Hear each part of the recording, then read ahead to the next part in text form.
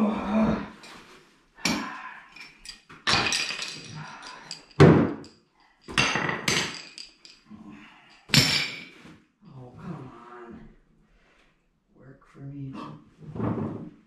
hey. Oh! I'm sorry there, guys. Didn't see you there. Welcome back to StrikeRyker Fishing. Today, I went and bought a whole bunch of these Beaver Dam tip-ups.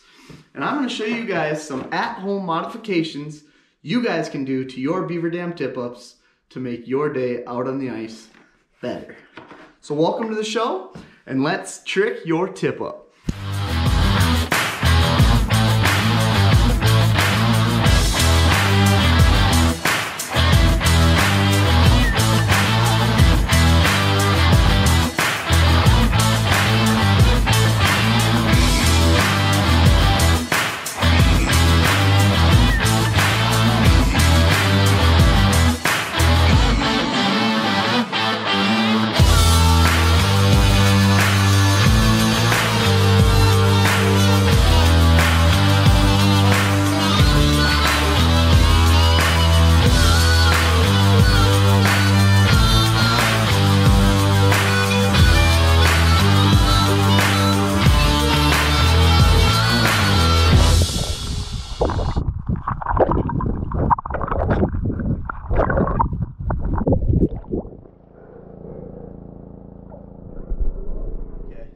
First thing we're going to do for you guys today is show you just a couple types of tip-ups you can have at your home and yeah, so let's show you guys what I got. So first one that I'm going to show you guys is going to be this thermal.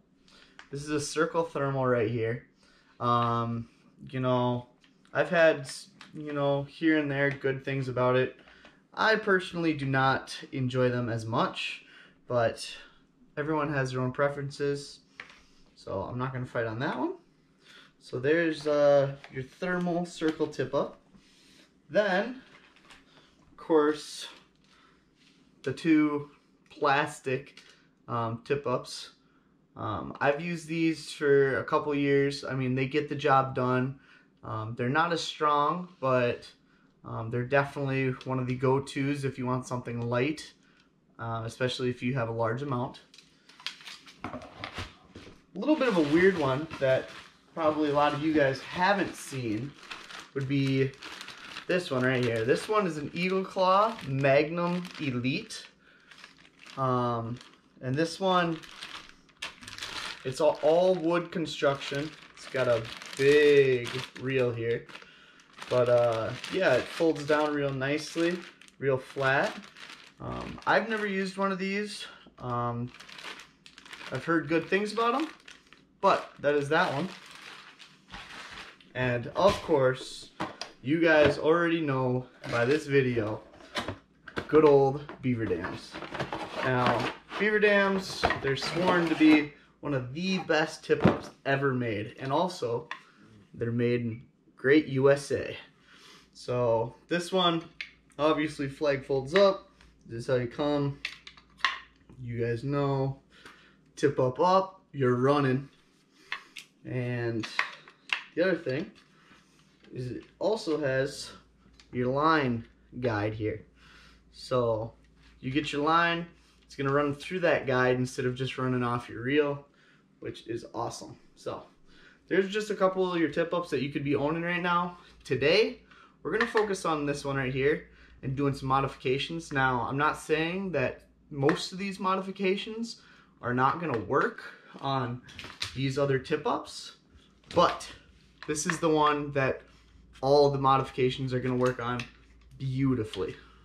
So let's get into it and let's modify this tip up. Okay, so you're looking at your tip up, it's your first modification. I guess I wouldn't really call it a modification for this one, but when you're buying line, make sure you guys are buying ice line, something that is made for the ice. Now this is literally called ice line. I use 30 pound braid. Um, and yeah, all you're gonna do is throw this on your spool and uh, I'm gonna show you guys some more modifications to make on your tip up.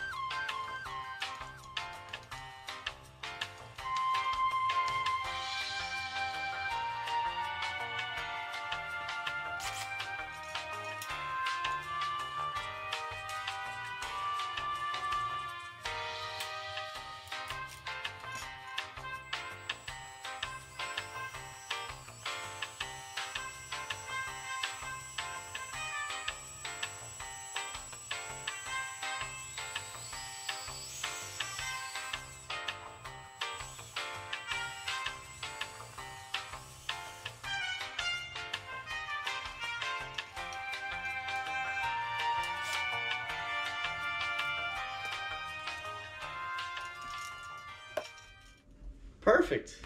Now, we got our tip up all lined up here. I hope you guys like that little trick that I threw in. I'm gonna show you guys our first modification truly to our beaver dam tip up. So, first thing you're gonna do is you're gonna go to, I don't know, Fleet Farm, Menards, Home Depot, somewhere, you know, you're gonna be going and grab one of these cable wrap Velcro strips. Now these are 10 inches. I'd recommend getting something about this size. If you get any smaller, it doesn't seem to wrap the whole tip up as well.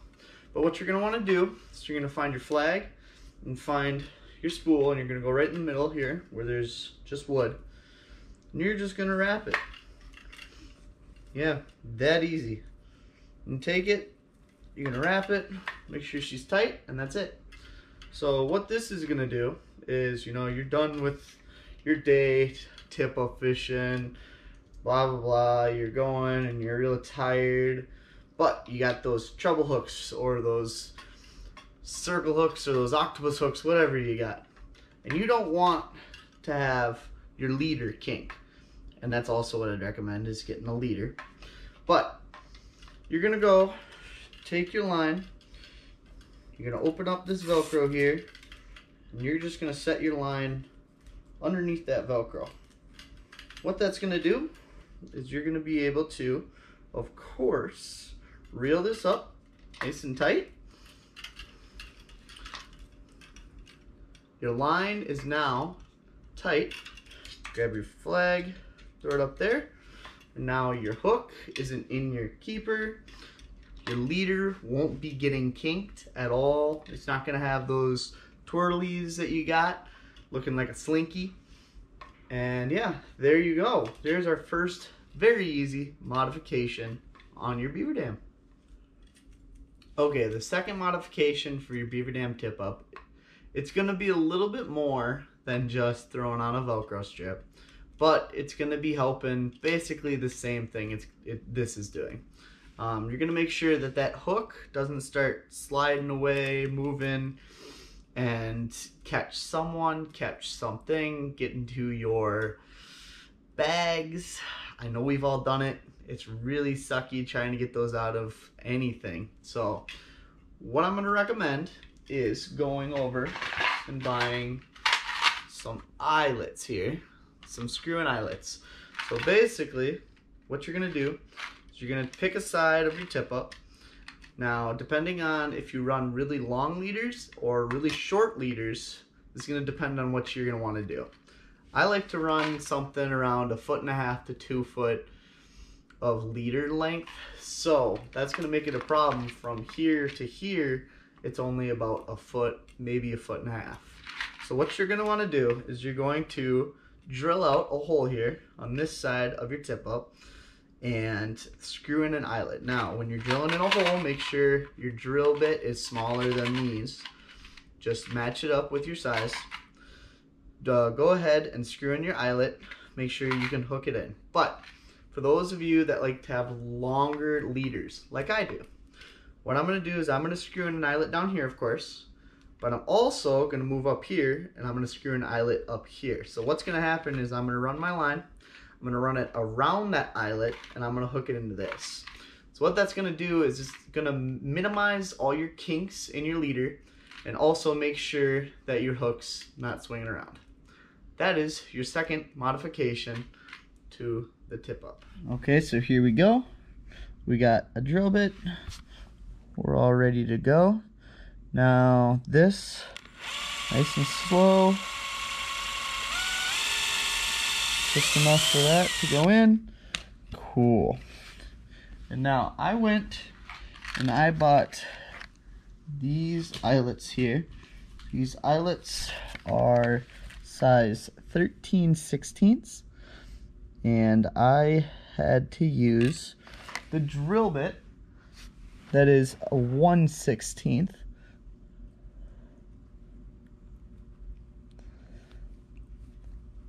Now, I'm going to go till you want to here. I like to go a little high on this one so then my line can wrap around it. But there you go. There is the first eyelet of two.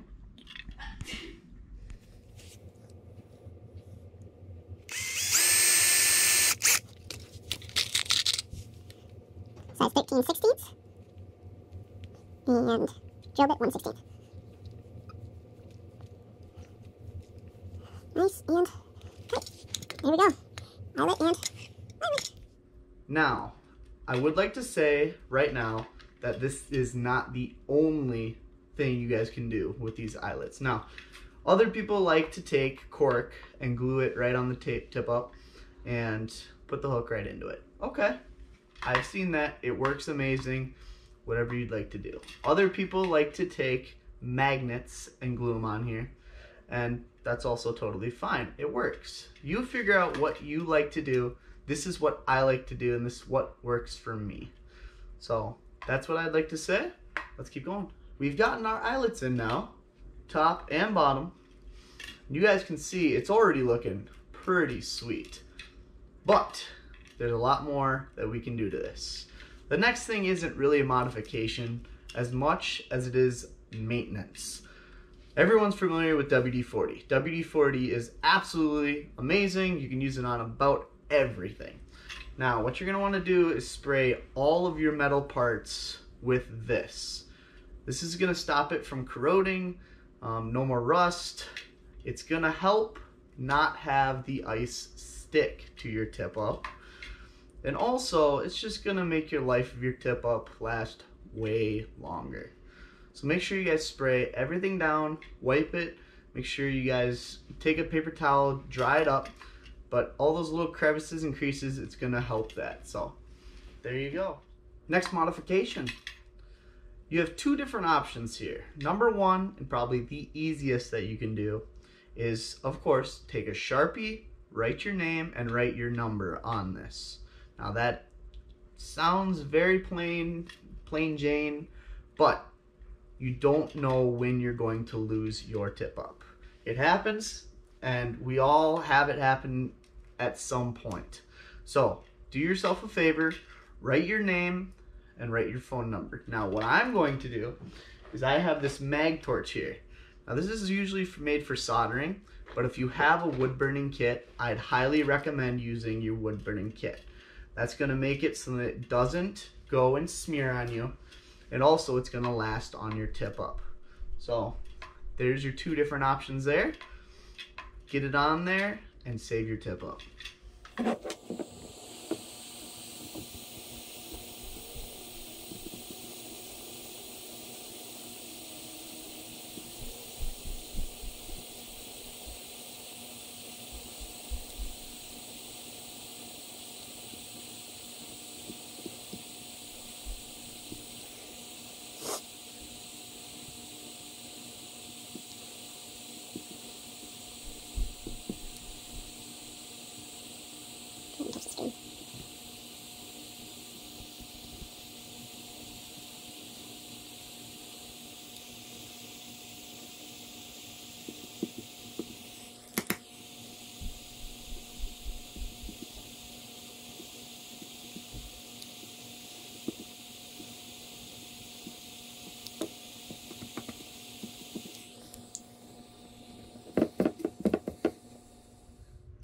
That is hot.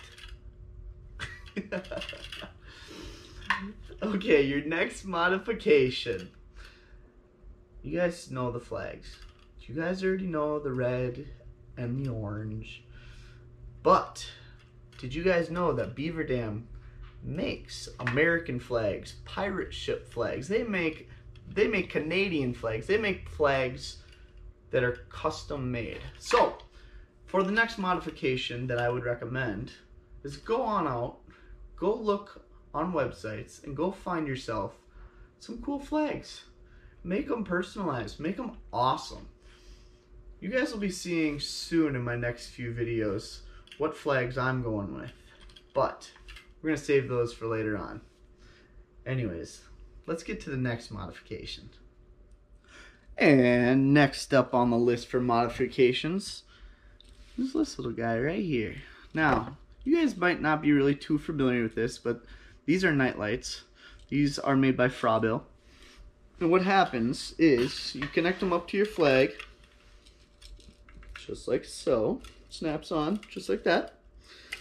And the only other thing is there's this little switch on this back side, and you're gonna, of course, turn it on. And when it is down, you guys are gonna see that no lights at all. But as soon as the flag goes off, you guys see that, it flashes. So it's really cool, handy dandy little thing, especially at nighttime. If you guys are thinking about doing any night fishing for ice fishing, uh, I'd highly recommend it. Um, I'm going to throw down right here what the price is um, for this specific one. Now there is knockoff ones that you guys can buy. Go for it. Do your research. Definitely check in the reviews. But this is something that I've bought almost eight of them now and I'm very very happy with them and haven't had any problems with them yet so there's your next modification for your beaver dam tip up for your next modification this one's kind of a major one now you may or may not want to do this and the biggest disclaimer I can give is once you do it there's no going back so what I'm gonna say is right here your guide right off of your spool here, it's not going to let your treble hook go through it.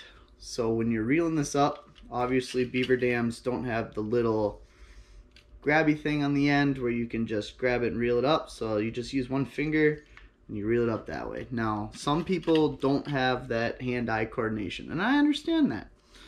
So what they like to do is they like to take this and they make a nice notch all the way through here on one side of this guide.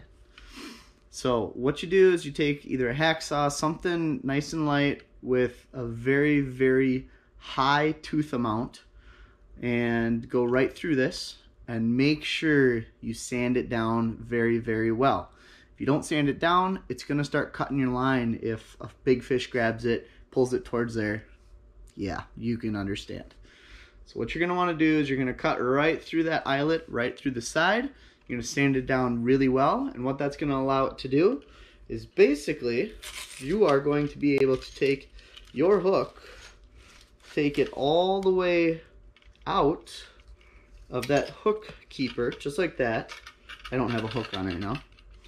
And obviously, you can just hand wind it then, which makes it easier for some people that have a tougher hand-eye coordination. So there is your next modification. I'm not going to do that. I'm pretty good at the whole finger spin, but that is an option for your modificating your beaver dam tip-ups. And one of my favorite modifications of all time that I actually created. People have maybe done this before, but I definitely got this idea just on a whim. So, I'm going to show you guys. You guys know your flags. Definitely low light time to nighttime. It's hard to see those flags. And you take your flashlight, you flash around. You may see them, you may not. So, what I did was I took reflective tape and I put it on the ends of my tip-ups. Now, here's one of my tip-ups. This is a polar. And that's all I did. I took on both sides reflective tape. Now what this is going to do is this is going to make it low low visibility versus nighttime, both of them. It's going to make it be able to see that tip up. If it's up and down, obviously you have a fish. If it's vertical, then obviously you know you don't have a fish still. So that's why I put it where I put it. Now you can make your whole flag out of that reflective tape. You can put it wherever you want, but that is why I put it where I put it. The only thing I would recommend is make sure you guys get a good brand of reflective tape. If you don't get a good brand of reflective tape, it's gonna just crumble away, it's not gonna last, and it also won't have that reflective property that you really are looking for. So make sure you invest in some good reflective tape. Um, if you guys can find some 3M reflective stuff, highly recommend. That's what I used. And yeah, so there's our next modification. And your final modification for your beaver dam tip up is not actually the tip up itself. It's what you carry the tip up in. Now there's a lot of Velcro around your five gallon bag, you know, stick them in tip up holders. Okay, or you could just have your five gallon bucket. Okay, but how many is that actually gonna hold? Maybe three, maybe four. And luckily you have your eyelets, and then it doesn't get tangled. But I'm gonna show you guys what I made right now. So here you go. This is my fully custom made tip up bucket that I made. Now this is all PVC pipe with, of course, drain caps on the end so then the snow will melt out of them. It is held together by the purple stuff. And I put my name and my phone number. Now I am blocking out my phone number. But I put my phone number and my name in there so if anyone find, found my bucket, I'd hope that they'd call my number. But all you do is you take your tip off, throw it in there. It can fit one, two, three, four, five, six, seven, eight. And you have a whole bucket right on the inside. You can fit absolutely everything else. Now I usually throw my Vex right in here, throw all the tipper tip ups in here, and carry it around hole to hole as I'm drilling holes. Throw them, set them up, and I'm all done. So that is the last modification I'm going to show you guys for your Beaver Dam tip ups. And that's it, guys. That is how you trick your tip up. I'm happy to say that I am very happy with my new Beaver Dam tip ups and I'm looking forward to this hard water season this year. So, if you guys have any comments, questions, or any concerns, definitely throw it down there. If you guys have any other things that you guys do with your tip ups that I didn't mention, definitely leave it down there. I always like to make improvements and I always love hearing from you guys. And, of course, remember to throw a subscription in and throw a like on this video. I always appreciate you guys. As always, you guys know the drill. Remember to send it and fish on.